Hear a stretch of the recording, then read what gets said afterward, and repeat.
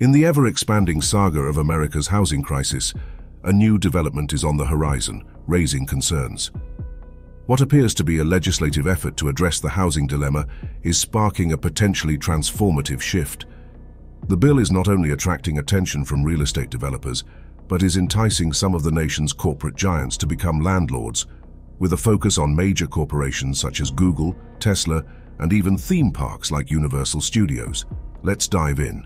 The US Census Bureau's data reveals that more than 36% of households in the country opt for renting their residences. Since the onset of the epidemic, the cost of renting has surged to unprecedented levels, with Zillow reporting an overall increase of 29.4% in rentals. Inflation emerges as a key factor contributing to the escalation of rental costs, with a notable 11% jump in rent observed in 2022 compared to the previous year. This upward trend continued into 2023, reaching a national average increase of 22% in November when compared to pre-pandemic levels. According to Realtor.com, the year 2021 witnessed a surge of 10.1% in rent prices, coupled with a 6.3% increase in inflation. Inflation, affecting all costs, particularly those related to real estate, prompts landlords to raise rent to offset the impact of inflation passed on to renters. The National Low-Income Housing Coalition highlights a severe shortage of over 7 million affordable homes for the nation's 10.8 million plus extremely low-income families. The grim reality persists as no state or county offers affordable two-bedroom apartments for renters working full-time at minimum wage. Additionally, a staggering 70% of extremely low-income families find themselves burdened, paying over half their income on rent.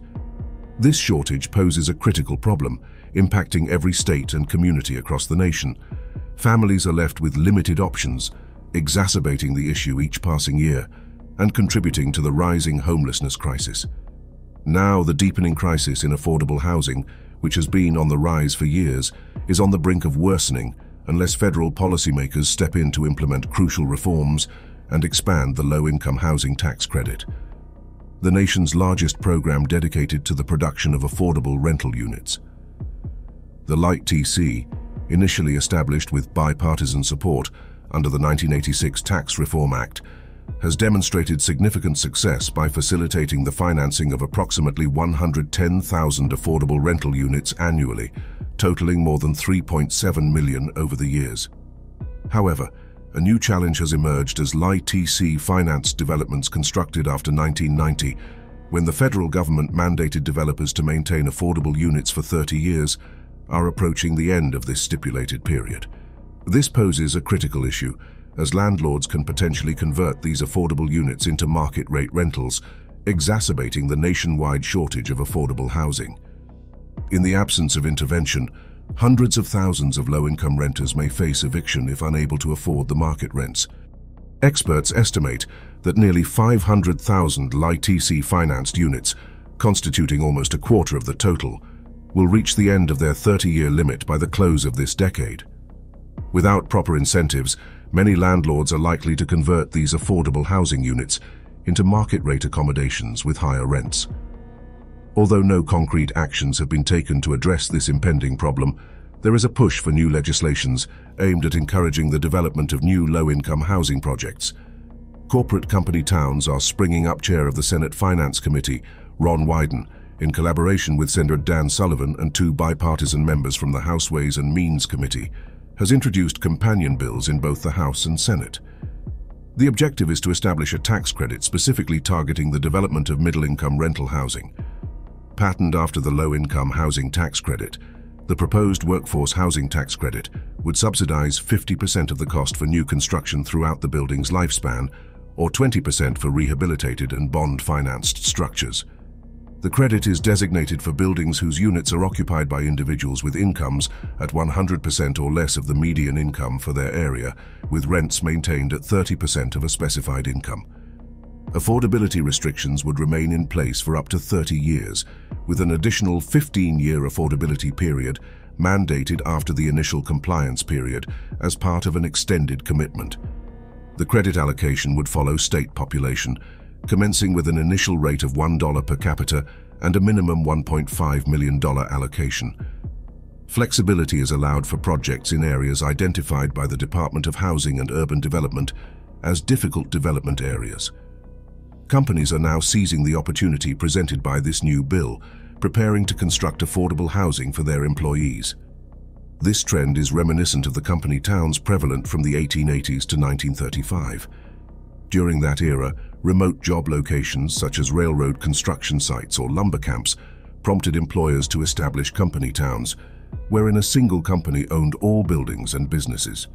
Company towns occasionally emerged from a paternalistic initiative to create an ideal workers' village, complete with churches, schools, libraries, and other amenities to foster healthy communities and productive workers. For instance, Google recently gained approval for its extensive 153-acre mixed-use neighborhood development in Mountain View, known as the Google North Bayshore Master Plan. Partnering with real estate developer Lendlease, Google envisions over 3 million square feet of office space and 7,000 residential units in this 30-year project. Elon Musk, CEO of Tesla, Boring and SpaceX, Elon Musk also wants to become his employees' landlord. Plans for a company town named Snailbrook, around 35 miles from Austin, Texas, have been uncovered. Musk intends to construct 110 homes near Boring and SpaceX facilities in Bastrop County, offering housing at affordable rates, starting at around $800 per month for two or three-bedroom homes a considerable reduction compared to the median rent in nearby Bastrop, which hovers around $2,200 per month. Living in Snailbrook will come with increased dependence on Elon Musk for employees. Apart from receiving a salary from Musk's companies, residents will also pay rent to him. In case of termination from Boring or departure from the company for any reason, they have a 30-day window to vacate their homes. Discussions have taken place about extending housing opportunities in Snailbrook to workers from Musk's other companies, considering Tesla's Texas Gigafactory is approximately a 30-minute drive from Bastrop. Meanwhile, theme parks are also joining the bandwagon of companies turned landlords. Universal Studios Florida, spanning 840 acres, is not just a fantastical destination for visitors, but is also grappling with real-world issues like the soaring cost of housing for its 28,000 employees in Orlando. Central Florida has witnessed significant rent hikes during the pandemic, and the Orlando-Kissimmee-Sanford metro area faces a severe shortage of affordable housing, with only 15 available units for every 100 extremely low-income renter households, according to the National Low-Income Housing Coalition. To address this, Universal is embarking on a new project in Central Florida, a 1000 unit mixed-use development named Catchlight Crossings, scheduled to open in 2026.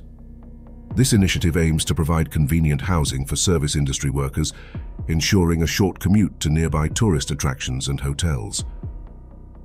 Universal donated 20 acres of land adjacent to the Orange County Convention Center for this project, partnering with local developer Wendover Housing Partners. Even Disney, Universal's nearby rival, is stepping into the realm of affordable housing. In 2022, Walt Disney Company announced plans to contribute 80 acres for a proposed one, 450-unit affordable development, set to open in 2026 near Flamingo Crossings Village. This village caters to participants in Disney's college internship program and also leases units to some Disney World cast members. Beyond major theme parks, even smaller ones in more affordable areas are venturing into home building. For instance, Indiana's Holiday World opened Compass Commons, a $7 million development in May. Designed to provide seasonal housing for up to 136 employees, it replaced a proposed theme park attraction originally slated for launch last summer. These partnerships between entertainment industry employers, developers, and local government represent innovative solutions to address the ongoing scarcity of apartments for lower-income households. The adverse implications of having your employee as your landlord examining the company towns of the 1980s, despite their economic success, they often faltered politically due to the absence of elected officials and municipally owned services. Consequently, workers frequently lacked a voice in local affairs, leading to a sense of being dictated to.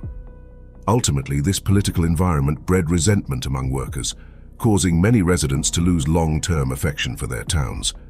While the companies spearheading these contemporary projects argue that they can address the nation's shortage of affordable housing, it's prudent to approach these plans with a measure of skepticism.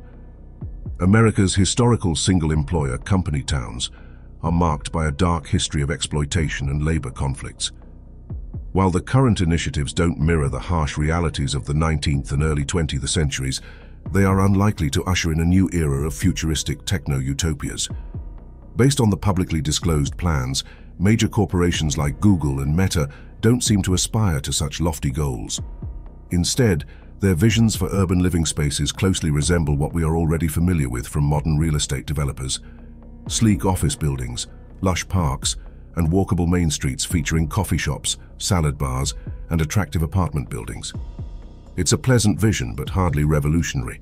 Contrary to the floating cities or domed villages envisioned by science fiction writers and Peter Thiel, these scaled-back plans reveal that what these companies truly seek is a competitive edge. Their primary goal is to allure and retain top talent, ideally bringing them back to the office. The current robust state of residential real estate adds another incentive. While the commendable objective of constructing more housing, including affordable units, is present, it serves as the finishing touch. However, it's crucial to recognize that these companies will only pursue these plans as long as they align with their business objectives. As America grapples with an ever-worsening housing crisis, the proposed workforce housing tax credit seems like a glimmer of hope, aiming to encourage the development of affordable housing units. However, the unexpected entry of corporate giants into the housing market raises intriguing questions about the future landscape of American communities. While these corporate initiatives claim to address the affordable housing shortage, history warns us of the potential pitfalls associated with company towns. As we navigate through these developments, it remains crucial to scrutinize the true intentions behind these initiatives, ensuring they contribute not only to the bottom line of corporations, but genuinely address the pressing needs of the workforce and the broader community. Will this mark the beginning of a new era in housing solutions or a chapter in history repeating itself? Only time will tell.